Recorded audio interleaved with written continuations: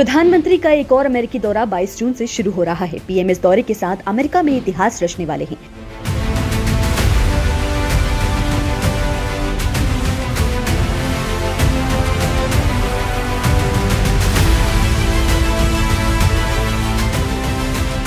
अमेरिकी विदेश मंत्री एंटनी ब्लिंकन ने भी कहा है कि पीएम मोदी की ये यात्रा ऐतिहासिक होगी।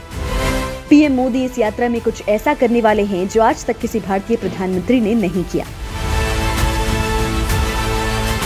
पीएम मोदी के यूएस में स्वागत के लिए जोरों से तैयारियाँ चल रही हैं। जहाँ अमेरिका में पीएम के नाम पर मोदी जी थाली लॉन्च की गई है, वहीं व्हाइट हाउस में पीएम के राजकीय स्वागत की भी तैयारियाँ जारी हैं। पीएम मोदी के दौरे पर अमेरिकी राष्ट्रपति जो बाइडेन उनका व्हाइट हाउस में राजकीय स्वागत करेंगे और उनके सम्मान में डिनर का आयोजन करेंगे पीएम मोदी अमेरिका की फ़र्स्ट लेडी जिल बाइडेन से भी मुलाकात करेंगे ये यात्रा सिर्फ़ भारत ही नहीं, बल्कि अमेरिका के लिए भी खास होने वाली है ये 75 सालों में एक ऐतिहासिक यात्रा होगी। दरअसल इस यात्रा पर पीएम मोदी सिर्फ़ अमेरिका की यात्रा नहीं करेंगे, बल्कि अमेरिका की संसद को दूसरी बार संबोधित कर इतिहास भी रचेंगे।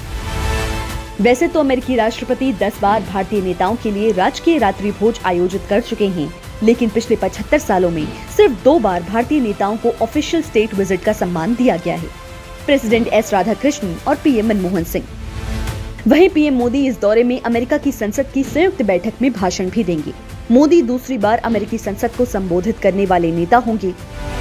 वहीं दुनिया के तीसरे ऐसे नेता होंगे जिन्होंने दो बार अमेरिकी कांग्रेस में भाषण दिया हो। मोदी ने इससे पहले 2016 में अमेरिकी कांग्रेस को संबोधित किया था। बाकी दो नेताओं में विंस्टन चर्चिल और नेल्सन मंडेला शामिल हैं।